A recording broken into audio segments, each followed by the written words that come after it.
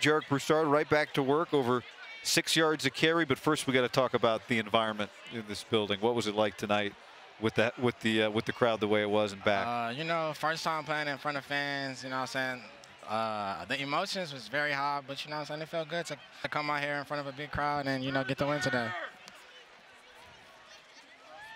Over six yards of carry for you. We talked about last year all the success you had, the offensive player of the year.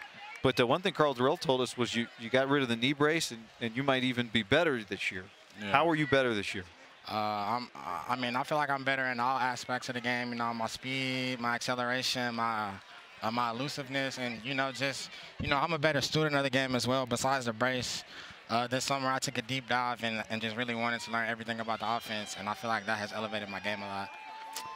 Jarek, with with such a daunting schedule coming up, um, and by daunting I mean that your guys are playing against a lot of really top talented teams.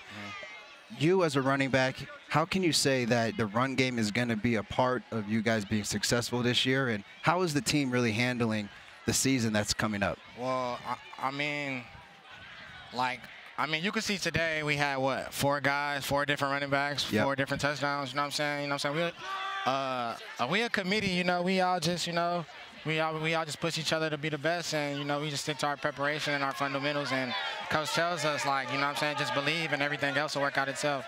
All right, Brendan Lewis, the uh, the young man getting his first start tonight. What'd you see from him? Man, see, see, people usually say like, oh, um, oh, he's a he's a freshman quarterback. It's his first game playing. He don't. That's straight over the shoulder. He. He, he was he, he's confident. We had a player ran meeting and he he stood up. He said the goals for the offense is to you know I'm saying score points and move the ball downfield and that's exactly what we did today. So I'm fully confident in him. He there's no doubt when it comes to Brendan Lewis. Jarek, congratulations on on a great performance by mm-hmm. you, and we'll look forward to watching you guys next week against Texas A&M. Appreciate that. Thank y'all.